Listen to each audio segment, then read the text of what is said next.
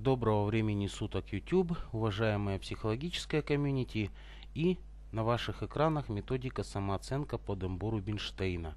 Очень хитрая методика.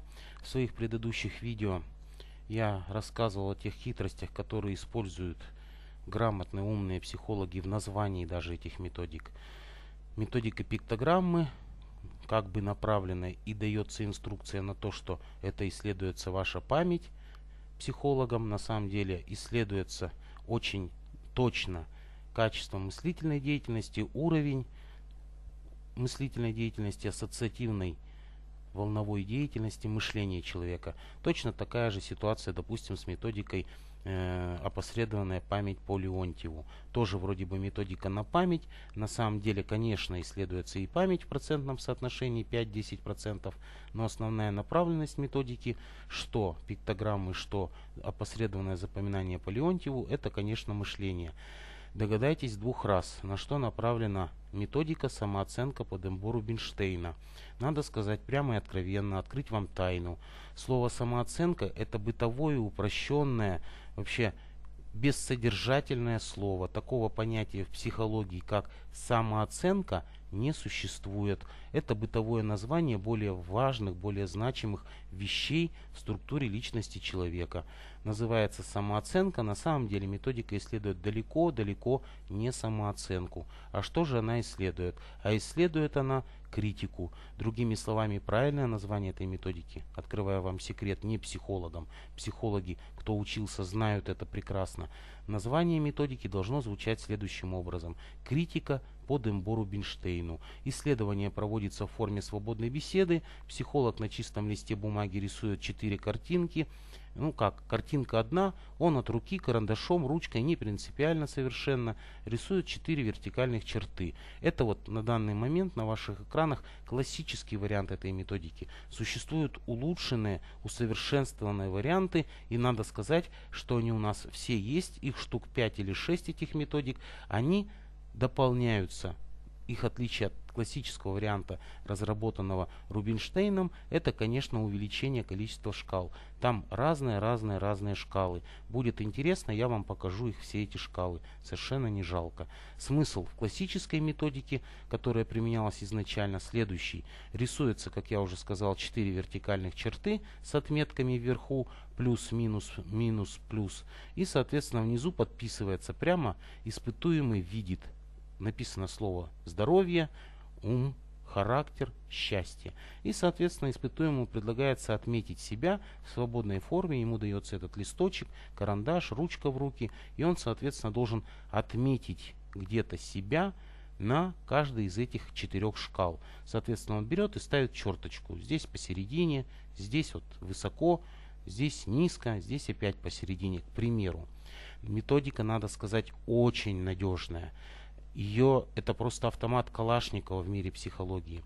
Все олигофрены по шкале ума, то есть люди, прошу прощения за резкое выражение, умственно отсталые люди, они по шкале ума без исключений. Практически они перед моими глазами прошли сотни, может быть, тысячи людей с умственной отсталостью, без исключения все эти люди считают себя очень-очень умными, они ставят себя очень-очень высоко.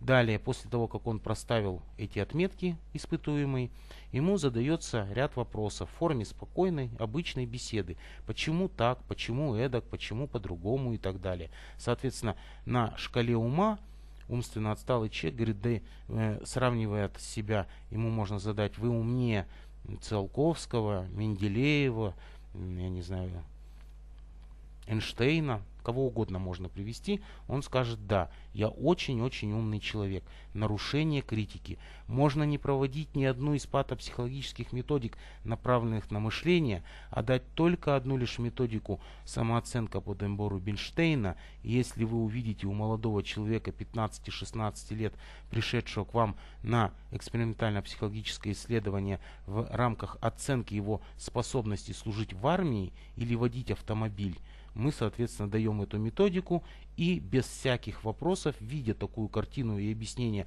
что он считает себя одним из самых-самых умных людей, значит, соответственно, пишется в эпикризе, там, где он там проходит стационарно или амбулаторно, это исследование, этот молодой человек, пишется, что у него не все адекватно с критикой. Соответственно, абсолютно точно прямая корреляция и взаимосвязь со сниженным уровнем обобщения. Это, как правило, конкретно ситуационные ассоциации, олигофрения, умеренный, средний или высокой уровни, уровня вот не помню эти выражения, вот привык в МКБ-10 написано, да, дебильность, имбецильность, идиотия.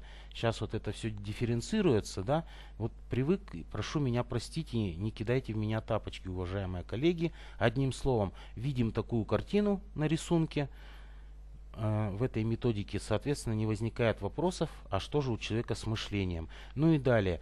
То есть по каждой из шкал можно сделать очень строго, четко определенный вывод. Как это ни странно, эта методика, прошу простить меня, я буду бодаться с кем угодно за это, она не проективная, это не дом, дерево, человек, это не нарисуй свою семью, это именно та методика, которая является объективной, никакая она не проективная.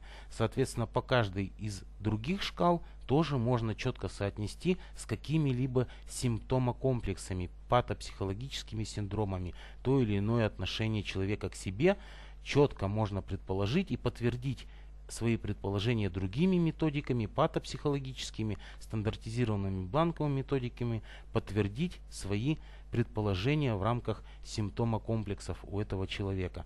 Вот такая вот красивая функциональная методика.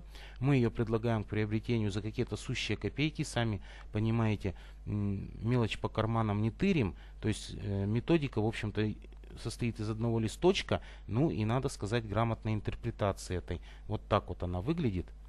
То есть тут у нас идет процедура проведения, инструкция, протокол, интерпретация этой методики.